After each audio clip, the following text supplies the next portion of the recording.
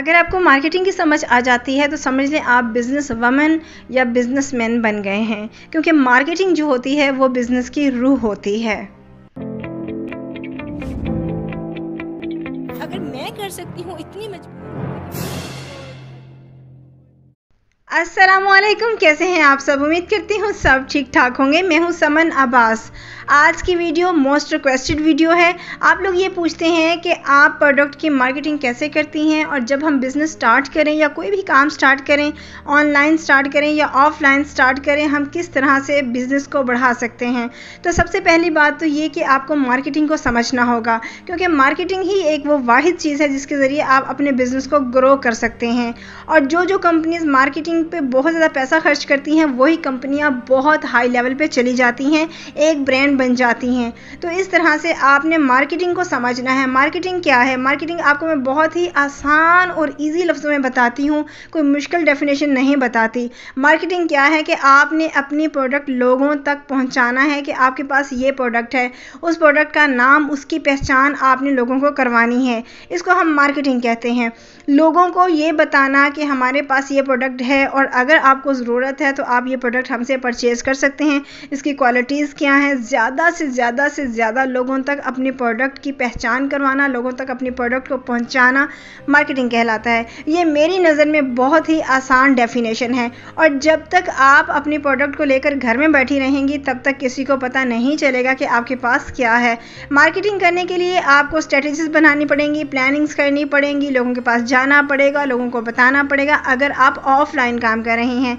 अगर आप ऑनलाइन काम स्टार्ट करना चाहती हैं तो इसी तरह से आपको पोस्टें लगानी पड़ेंगी, लोगों को बताना पड़ेगा मैसेज क्रिएट करना पड़ेगा, उसके बाद वो जगह जगह पे पोस्ट करना पड़ेगा, या जाकर लोगों को गाइड करना पड़ेगा, लोगों को बताना पड़ेगा कि हमारे पास ये चीज़ है, इसको परचेस कर लें। ये मार्केटिंग कहलाती है। अब आप ये पूछते हैं कि आपने मार्केटिंग कैसे की?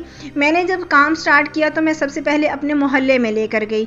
मैंने अपने करीबी लोगों को बताया, उसकी प्रोडक्ट की क्वालिटीज़ बताई, फिर मैंने खुद यूज़ की, मैंने उनको रिज़ल्ट दिखाए तो उन्होंने मेरे पर ट्रस्ट करके मुझे परचेज़ करनी शुरू कर दी। जब मैं ऑनलाइन बिज़नेस में आई तो मैंने सबसे पहले इसकी मार्केटिंग की और इसकी पोस्टें बनाई, खुद बनाई मैंने। सबसे पहले मैंने खुद मार्केटिंग स्टार्ट की।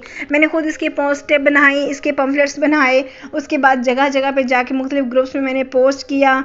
उसके बाद मैंने इसकी पब्लिसिटी की, खुद पब्लिसिटी की मैंने इसको। मुख्तलिफ़ अपने सोशल मीडिया अकाउंट्स पर बार बार डेली डेली पोस्ट करती थी पोस्ट बनाती थी। फिर मैंने अपना फेसबुक पेज बनाया। उस पर डेली पोस्टिंग करती थी। इसके अलावा मैंने बहुत सारे प्लेटफॉर्म्स पे अपने अकाउंट्स बनाए। इंस्टाग्राम टिकटॉक स्नैक लाइक की हर जगह पे मैंने अपने अकाउंट्स बनाए और उन पे मैंने डेली डेली पोस्ट करना शुरू किया। जब मुझे लगा कि अब मैं, मुझे टीम हायर करनी चाहिए, अब मेरे बस से ये काम बाहर हो गया है तो फिर मैंने टीम को हायर किया। सबसे पहले मैंने आयशा को हायर किया। उसको मैंने सारी बातें समझाई, सिखाई पब्लिक डीलिंग सिखाई। फिर वो फ़ोन पे मैसेजेस पे व्हाट्सएप पे डीलिंग करती थी और आहिस्ता आहिस्ता आहिस्ता मेरी टीम टीम डेवलप होती गई डिवेल्प होती गई और कारोबार मेरा आहिस्ता आहिस्ता डिवेल्प होता गया। सेम इसी तरह से ऑफलाइन में मैंने स्टार्ट में अपने करीबी लोगों को देना शुरू किया, उसके बाद मैंने मुख्तलिफ़ शॉप्स पे जाकर अपनी प्रोडक्ट इंट्रोड्यूस करवाना शुरू किया। जब ऑर्डर ज़्यादा आने लगे तो फिर मैंने हायरिंग की और उसके बाद उन्होंने मेरी मार्केटिंग स्टार्ट कर दी। तो इस तरह से ऑफलाइन मेरा बिज़नेस स्टार्ट हो गया।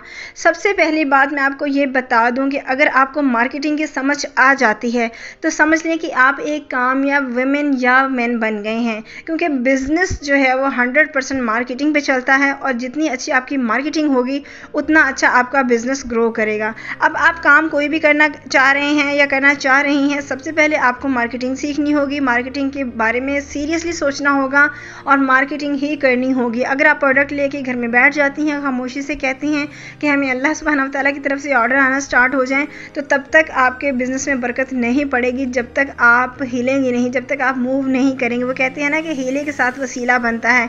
तो अल्लाह सुबहान तला आपके काम में बरकत ज़रूर डाल सकते हैं, लेकिन ये नहीं कि आप घर में बैठ जाएँ और आपको काम घर में मिलना शुरू हो जाए। जब आप हिलेंगी, काम करेंगी मूव करेंगी मार्केटिंग करेंगी, मुख्तलिफ़ तरीक़ों से मार्केटिंग करने के बाद आपके काम में जब बरकत पड़ेगी तो तब आपको रिपीटेडली ऑर्डर या इस तरह से आना स्टार्ट हो जाएँगे, तब आपका बिज़नेस ऑटोमेटिकली ग्रो करेगा। तब आपको ज़्यादा मेहनत की ज़रूरत नहीं होगी। लेकिन स्टार्ट में आप बिलीव करें, मेहनत की ज़रूरत होती है, आपको मेहनत करना पड़ती है और आपको इस तगो दो में अपने बिज़नेस को बढ़ाने के लिए मेहनत करना बहुत ज़्यादा ज़रूरी होता है। क्योंकि अगर आप मार्केटिंग नहीं करेंगी, लोगों तक अपनी प्रोडक्ट को पहुंचाएँगे नहीं तो तब तक आपकी प्रोडक्ट सेल आउट नहीं होगी।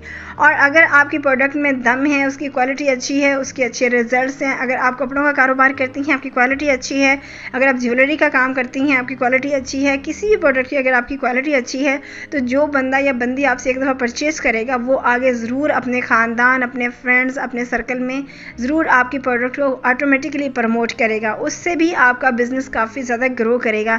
लिहाजा मेरा मशवरा यह है कि सबसे पहले जब भी आप कोई भी काम स्टार्ट करें, अपने प्रोडक्ट की क्वालिटी को बहुत ज़्यादा हाई रखें और क्वालिटी पे कभी भी कंप्रोमाइज़ ना करें। मैं अपने प्रोडक्ट की पैकिंग पे कंप्रोमाइज़ कर लेती हूँ, लेकिन क्वालिटी पे कभी भी कंप्रोमाइज़ नहीं करती। इसलिए जो मेरे कस्टमर्स हैं, वो मेरी प्रोडक्ट्स को मंगवा कर बहुत ज़्यादा खुश होते हैं। उनको बिल्कुल भी इससे कोई प्रॉब्लम नहीं होता कि किस पैकिंग में प्रोडक्ट हमारे पास आई है। सिर्फ़ प्रोडक्ट की कॉस्ट को लो करने के लिए मैं इसकी पैकिंग पे इतना ज़्यादा तवज्जो नहीं देती, लेकिन प्रोडक्ट की क्वालिटी प्रोडक्ट के रिजल्ट्स के ऊपर बहुत ज़्यादा तवज्जो देती हूँ। तो इस वजह से मेरे कस्टमर दिन ब दिन जो बढ़ रहे हैं, मुझे जो ऑर्डर्स आ रहे हैं, वो ज़्यादातर मेरी प्रोडक्ट की क्वालिटी के ऊपर आ रहे हैं। अब बहुत से लोग मुझे कहते हैं कि आप इसकी पैकिंग की तरफ़ भी तवज्जो दें तो वो भी इंशाल्लाह मैं बहुत जल्द तवज्जो दूँगी।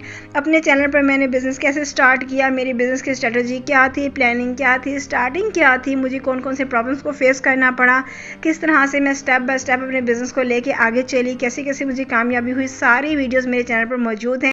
सारी वीडियो मेरे चैनल पर मौजूद हैं। आप मेरे चैनल को विज़िट कीजिए और अपने काम की वीडियोस को देखें और आज ही अपना काम स्टार्ट करें। अपना ढेर सारा ख्याल रखिएगा, दुआ में मुझे याद रखिएगा। अल्लाह हाफिज़।